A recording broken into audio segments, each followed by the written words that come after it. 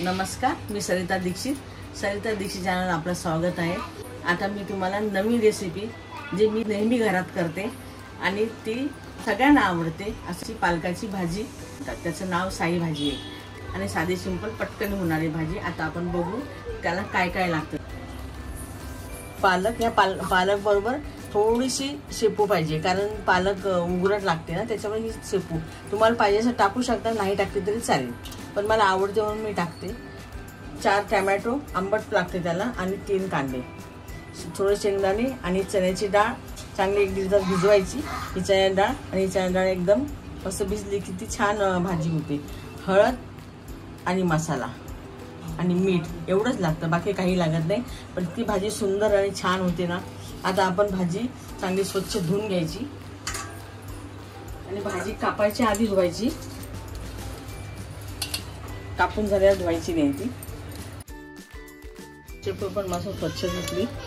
कापायच्या अगोदर धुतली की सगळे माती बिती सगळे निघून जाते आणि कापाच्या नंतर धुतली त्याचे सगळे जीवनसत्व चालले जाते. म्हणून कापाच्या अगोदर ही भाजी इतकी स्वच्छ धुवायची.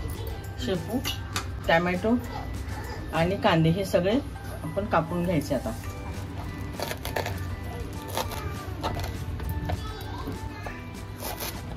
ज्यांना पालकाचं प्रमाण सांगते एक जुडी पालक आहे आणि थोडीशी शेपू आहे. थोडीशी शेपू टाकली चालेल. ती शेपूने छान भाजीला चव येते. आता टॅमॅटो धुवून घेऊ. लांब पातळ कांदे कापायचे. लांब लांब कांदा कापायचा.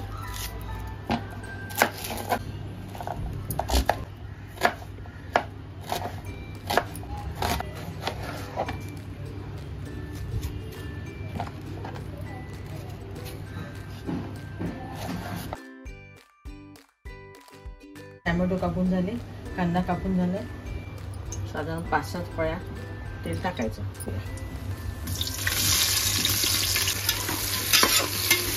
सोनेरी होईपर्यंत वापरून घ्यायचं त्याला. तेल सोडले कांद्याने. आता आपण त्यात टॅमॅटो टाकू.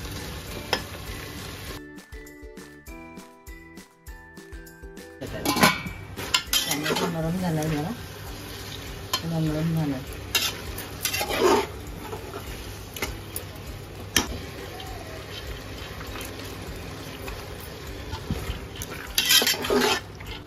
वाफू द्यायचे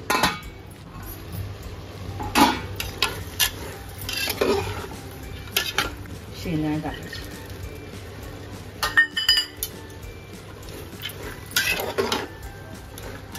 मीठ टाकायचं चवीनुसार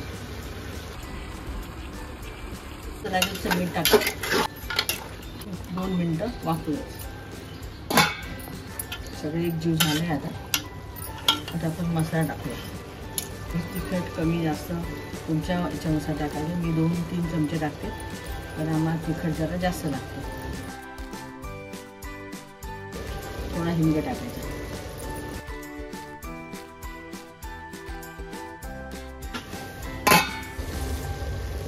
आता पालक टाकायची.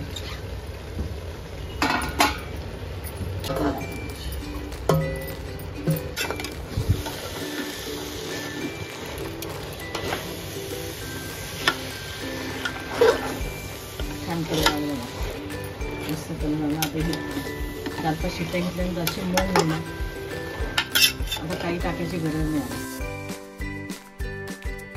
आणि दोन ग्लास पाणी टाकायचं. नंतर पाणी टाकायची काही गरज नाही आहे? दोन ग्लास पाणी टाकलं तर पालकाला पण पाणी सुटतं. चपुलाच पाणी सुटेल. छान होते त्यामध्ये आपल्याला घोटून जाता येईल मुलांना आता हे चार पाच शिट्ट्या घ्यायच्या चांगल्या चार पाच शिट्ट्या झालेल्या आहेत. मस्त झालेलं